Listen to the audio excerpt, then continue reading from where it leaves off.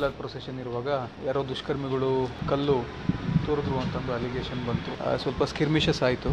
ನಾನು ಕೂಡ ಸ್ಪಾಟ್ಗೆ ಹೋದೆ ಇಮಿಡಿಯೇಟ್ಲಿ ಸ್ಪಾಟಿಗೆ ಹೋದಾಗ ಅವ್ರಿಗೆ ಮಾತಾಡಿ, ಕೆಲವರು ಕನ್ವಿನ್ಸ್ ಆದರೂ, ಕೆಲವರು ಕನ್ವಿನ್ಸ್ ಆಗಲಿಲ್ಲ. ಕೆಲವೊಂದು ಹುಡುಗರ ಗುಂಪು ಸ್ವಲ್ಪ ದಾಂಧಲೆ ಮಾಡಲಿಕ್ಕೆ ಅಂತಂದು ತಯಾರು ಮಾಡಿಕೊಂಡ್ರು. ತಯಾರು ಮಾಡಿಕೊಂಡು ದಾಂಧಲೆ ಕೂಡ ಮಾಡಿದ್ರು. ಮಾಡಿದಾಗ ಇಮಿಡಿಯೇಟ್ಲಿ ನಾವು ಸ್ವಲ್ಪ ಮಿನಿಮಮ್ ಯೂಸ್ ಆಫ್ ಫೋರ್ಸ್ ಕೂಡ ಮಾಡಬೇಕಾಯಿತು. Immediately one forty four section ಕೂಡ ಅಲ್ಲಿ ರಾಗಿಗುಡದಲ್ಲಿ ಜಾರಿ ಮಾಡಿದ್ದೀವಿ. ಸಿಚುವೇಶನ್ ಕಂಟ್ರೋಲ್ನಲ್ಲಿದೆ ಯಾರ್ಯಾರಿಗೆ ಇಂಜುರೀಸ್ ಆಗಿದೆ, ಆಮೇಲೆ ಯಾರ್ಯಾರ್ದು ಪ್ರಾಪರ್ಟಿ ಏನು ಡ್ಯಾಮೇಜ್ ಆಗಿದೆ, ಎಲ್ಲರೂ ಇಮಿಡಿಯೇಟ್ಲಿ ಬಂದು ನೀವು ಕಂಪ್ಲೇಂಟ್ ಕೊಡಿ ಅಂತಂದು ಅವ್ರಿಗೆ ಹೇಳಿದ್ದೀವಿ. ಅದು ಕಂಪ್ಲೇಂಟ್ ಮಾಡ್ತೀವಿ. ಕೆಲವೊಬ್ಬರನ್ನ ಈಗಾಗಲೇ ನಾವು ಸೆಕ್ಯೂರ್ ಮಾಡಿದ್ದೀವಿ.